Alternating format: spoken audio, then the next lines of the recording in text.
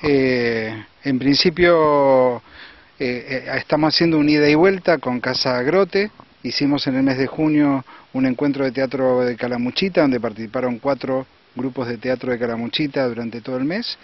Y ahora en ese ida y vuelta, ahora viene un grupo que se llama Grupo de la Vuelta, de Casa Grote, con una obra del Toto López dirigida por Susana Palomas, que se llama El Garra va a estar eh, en, el Centro Cultural Pocho Arana.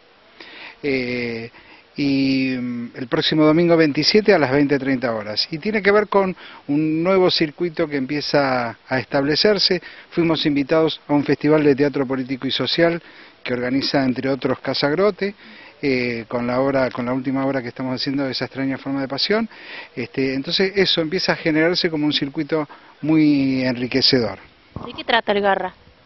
El Garra es eh, la historia de un, de un eh, portero de museo que empieza a tener como algunas reminiscencias de, haber participado durante la dictadura. Y, toda la idea del juego tiene que ver con un león enjaulado. Eh, entonces ahí tiene un, trabajo muy interesante de, cómo establece la cuestión felina eh, sobre la cuestión agresiva, sobre la cuestión pasiva, digo, hay un juego muy enriquecedor. Una obra que vale la pena ver, un muy buen trabajo de Toto López, eh, que para quienes no lo conocen es un actor muy conocido de la provincia de Córdoba, eh, un referente de los derechos humanos, ha sido chupado durante la dictadura y hoy es, su causa está en la causa La Perla y eh, preside la Mesa de Derechos Humanos de la provincia de Córdoba, es uno de los que genera la marcha del 24 de marzo y bueno, y fuera de todo eso también es un eh, teatrero, actor y director de teatro, tiene un espacio Casagrote que está hace 17 años en, Córdoba Capital. Eh, nada, es toda una institución del teatro y toda una institución de la lucha social.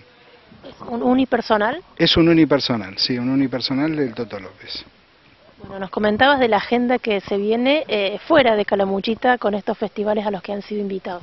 Sí, se viene una agenda hermosa. Eh, en primera instancia vamos a estar el martes 6 de octubre, plena fiesta de la cerveza, eh, en el marco del festival, del décimo festival internacional del Mercosur, que fuimos invitados a partir de haber recibido un, premio por la provincia de Córdoba lo que para nosotros es un, lujo y un gran honor, porque es uno de los festivales más importantes de, la provincia de Córdoba, y eh, yo tuve el gusto en diferentes maneras de estar en los tres festivales que, eh, desde que vivo acá, así que estar ahora eh, participando con una obra de teatro realmente nos da un gusto bárbaro.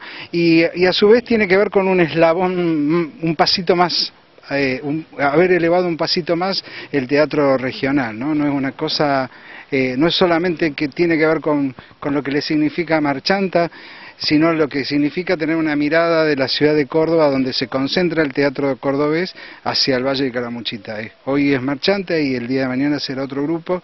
Este, lo interesante es que ahora estamos siendo parte de un circuito muy importante de teatro. ¿Qué obra van?